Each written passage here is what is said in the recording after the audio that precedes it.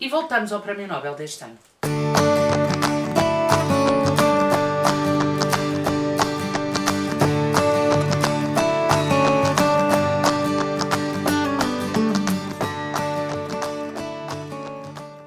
Olá, eu sou Maria João do Livros Gosto e estou aqui para te falar do livro Um Lugar ao Sol, seguido de Uma Mulher, da Annie Ernaux.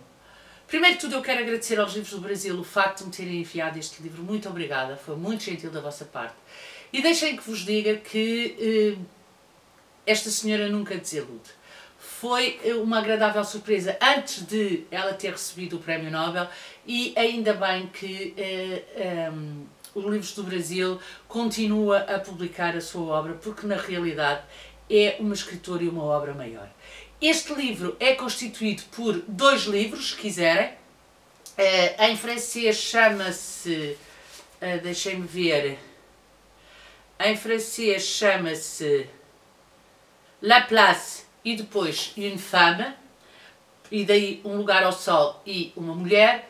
E na primeira parte deste livro, portanto, No Lugar ao Sol, Anne Arnaud fala-nos da morte do seu pai.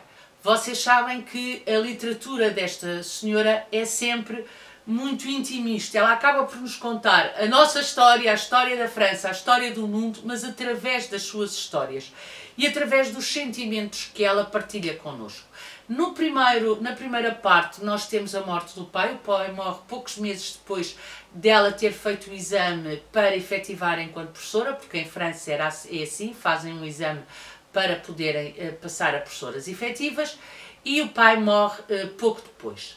Na segunda parte, ela fala-nos sobre a morte da mãe, e portanto é um livro de luto e sendo um livro de luto, foi um livro que eh, foi muito duro de eu ler, mas foi um livro que de alguma forma também uh, me trouxe algum quentinho e me trouxe alguma.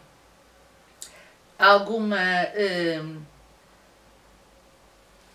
alguma, uh, se quiserem, algum conforto em relação também à minha perna. Eu não quero deixar de, neste momento, agradecer à Maria João Diogo o facto de ter lido este livro comigo. Acho que foi muito mais fácil para mim ler este livro com ela do que se tivesse lido este livro sozinha, porque ainda é um tema que mexe muito comigo. Este é o terceiro livro que eu leio desta autora este ano e talvez por a temática é o livro que mais me tocou. Mas eu confesso que tenho noção e tenho consciência que este toque vem pela temática e vem pela minha história de vida. Não é que este seja melhor que os outros, são todos, todos, todos bons, são livros completamente diferentes e são livros todos eles com uma narrativa muito centrada neste eu que fala, neste narrador que acaba por ser um narrador que somos todos nós e que acaba por ser um narrador que nos toca a todos nós. Eu confesso-vos que este é talvez o, o, o, o, te, o, o livro que mais me tocou porque é também o tema que mais me incomoda. O luto é um tema que me incomoda, não só pela, uh, pelas pessoas que já perdi, não só por me estar a aproximar de uma idade em que nós começamos a ter consciência da finitude, mas porque é uh, algo que, uh, se quiserem, eu ainda não sei muito bem gerir, acho eu. Porque, de alguma forma, às vezes incomoda-me, faz-me pena pensar nas pessoas que eu já perdi e que não estão cá para partilharem comigo os meus sucessos e que não estão cá para me darem um ombro e fazerem uma festa nos, nos meus insucessos e portanto eh, não há, eh, se quiserem, eh, momento nenhum em que eu não me lembro dessas pessoas.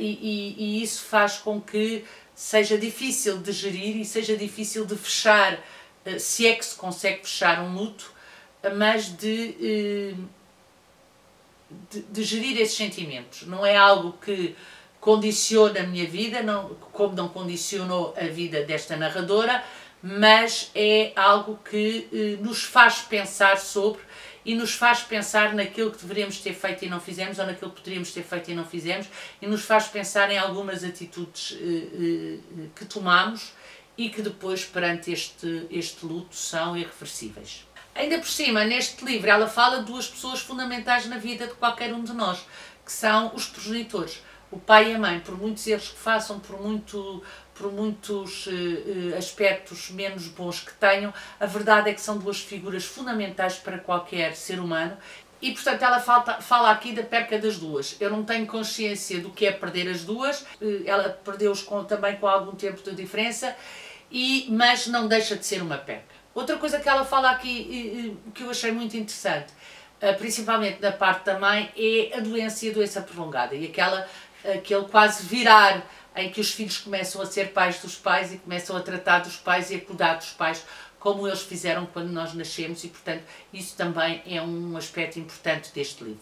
E depois temos novamente a escrita da Anne Arnaud, ou seja, não sendo um texto autobiográfico, há aqui uma primeira pessoa, há aqui um eu que fala e que acaba por nos levar a todos nós a projetarmos nesta história a nossa história, e acaba a todos nós por nos identificarmos nesta, neste, nesta forma uh, biográfica ou ficcional que a Anne Arnaud tem de escrever e que se, que, que se torna muito doce, muito interessante e que num livro como este se torna quase um suporte, porque aquilo que nós temos a sensação é de estar a ouvir alguém a partilhar connosco um, factos que, pelos quais nós também já passámos, ou não, mas que tememos passar e que, eh, e que de alguma forma também nos emocionam. Outro aspecto importante neste livro é que Paralelamente a tudo isto e através de um, de um discurso, às vezes quase de prosa poética, ela leva-nos a fazer uma análise sociológica muito importante.